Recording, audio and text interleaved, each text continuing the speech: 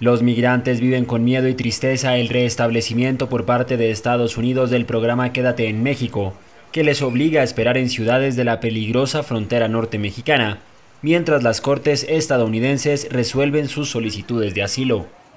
La reanudación del programa oficialmente nombrado Protocolos de Protección a Migrantes no es algo claro para los activistas como José María Lara, director del albergue Movimiento Juventud 2000 de Tijuana, quien afirmó que hasta este momento no se les ha explicado qué pasará con quienes sigan intentando llegar a Estados Unidos. Este programa incluso es para que la comunidad eh, con las entradas y salidas llegue un momento en que desista de seguir insistiendo, eh, solicitar la ayuda del gobierno estadounidense.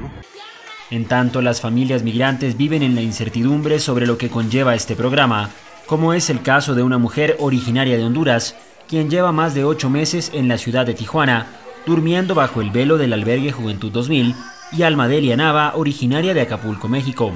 Pues no está bien, pero al no tener otra alternativa, pues creo que la vamos a tener que tomar. Me lo golpearon, lo maltrataron, los tablazos, me quitaron dedos. Y me lo cortaron, pues pensaron en que estaba. Otra cara tienen los migrantes en Ciudad Juárez.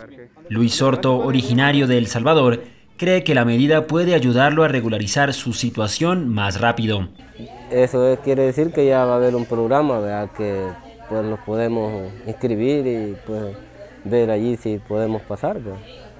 Y pues hasta ahorita pues no había nada, decían. no había ningún programa, entonces tal vez con ese sí podemos lograr de entrar. La crisis migratoria golpeó este 2021 con fuerza a México con el arribo de centenares de miles de extranjeros, en su mayoría centroamericanos y haitianos, al país buscando cruzar hacia Estados Unidos. Las autoridades mexicanas han interceptado a 228.115 migrantes y deportado a 82.627 desde enero hasta octubre de 2021, números no vistos en más de 15 años.